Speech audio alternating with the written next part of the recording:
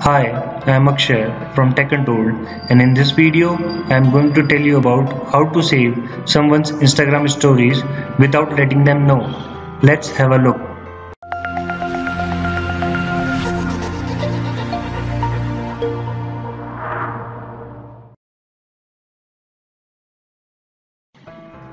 In order to download anyone's Instagram stories, you need a Chrome extension called Chrome IG Story.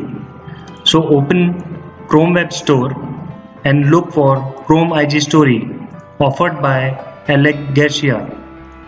What you need to do next is click on add to Chrome button and it will ask you to add extension.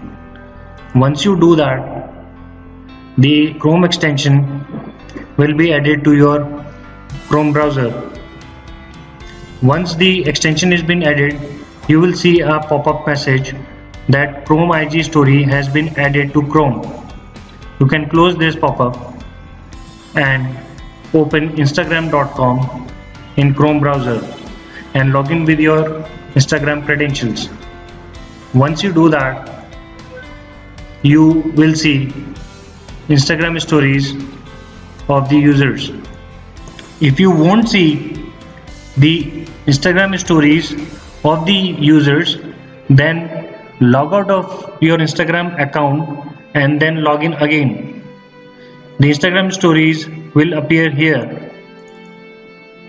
In order to download anyone's Instagram story, hover the mouse on that particular story and right click on that and click on download option. Once you do that, a zip file containing all the stories of that user will be downloaded on your PC. But when a user has uploaded multiple photos or videos in a story and you want to download any particular video or a photo then click on that Instagram story and view that story you can pick up any story and look at that and just right click on that image or a video and click on save image as or save video as option. And you can give any directory on your desktop and then can save that image or a video.